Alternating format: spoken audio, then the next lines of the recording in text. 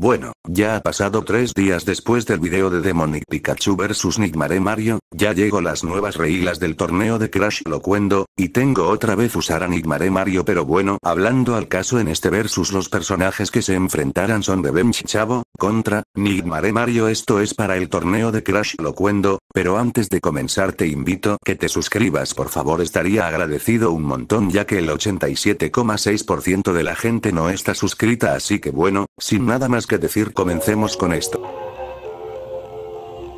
La historia de Nigmare Mario, hay dos historias la primera era después en el incendio en la pizzería de Sonic, Savage Sonic logra estar vivo pero al darse cuenta que sus amigos están muertos se van a la máquina de diseños, pasan cuatro días y sale Nigmare Mario y la segunda se trata que este era Mario moderno pero al pasar los años se volvería Nigmare Mario. En fuerza, Nigmare Mario ha demostrado matar a Luigi con sus filosas manos. En resistencia no ha demostrado nada pero por pura lógica, su resistencia es ligada a la fuerza. En velocidades en combate, puede atacar a Luigi sin que reaccione, en reacción, no demuestra nada, y en desplazamiento, solo demuestra de ir al escenario a la oficina.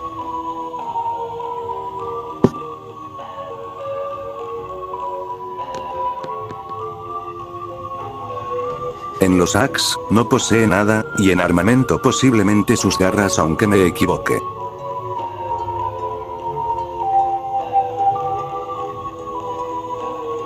En debilidades, no posee hazañas de reacción, y es confiado.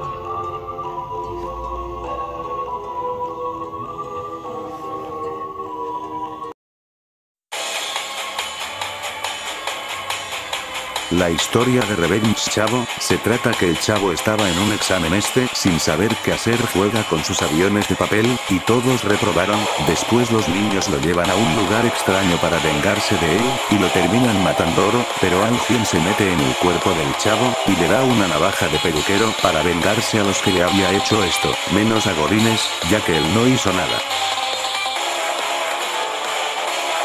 En la fuerza, Revenge Chavo demostró darle fuertes golpes a Kiko, matar a Dueña Florinda y a Kiko con su navaja, mató a Popis aunque no se demostró cómo lo hizo, pudo llevarse a Patty de un solo brazo para después matarla, pudo matar a Ñoño con su navaja, le lanzó su cuchillo al señor Barriga, le agitó su cuchillo en la cabeza del señor Barriga, pudo morderle el pie de un tipo tan fuerte, que le rompió su zapato, pudo morderle a un tipo tan fuerte que le sacó dos dedos, y trajuñaré la cara de un tipo.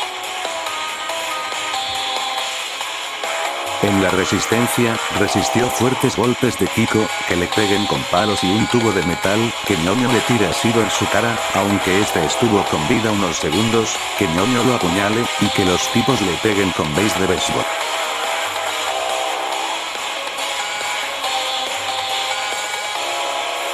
En las velocidades, en combate, atacó a sus amigos sin que reaccionen aunque estos tenían miedo, y forcejear con los tipos, en reacción, demostró esquivar ataques de los tipos, y en desplazamiento, demuestra llegar del basurero a la velocidad dos veces, y pudo llegar al hospital a donde estaba el señor Barriga, y pudo bajar muchos pisos de un edificio, y llegar del edificio a un parque.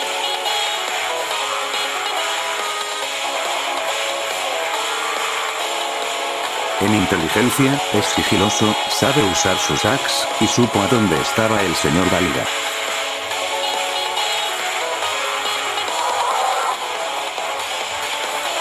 En los ax, puede crear ilusiones, una posible teletransportación, creación de vida, cambio de forma.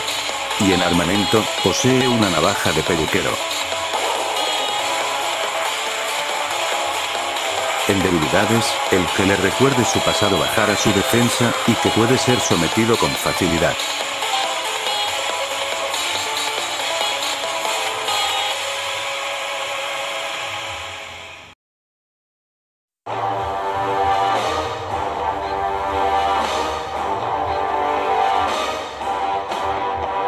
Revenge Chavo iba a la vecindad cuando iba llegando se topa con un animatrónico botado en uno de los rincones de una pizzería. El animatrónico era Nigmare Mario despierta y este ve a Revenge Chavo, y ahora sí, todos se ven fijamente y comienza la batalla. Nigmare Mario se va corriendo hacia Revenge Chavo y le intenta rasgarle la cara, pero Revenge Chavo por poco lo esquiva, y lo golpea, y se teletransporta detrás de él y le clavas una baja de peluquero en el brazo de Nigmare Mario. Nigmare Mario se retuerce de dolor y con sus garras le empieza a trajuñarle varias veces y Revenge Chavo, queda debilitado y con todas sus fuerzas, le entierras una baja de peluquero en su estómago a Nigmare Mario, Nigmare Mario pero Nigmare lo resiste y para acabar con esto, mata a Revenge Chavo Nigmare Mario de del lugar.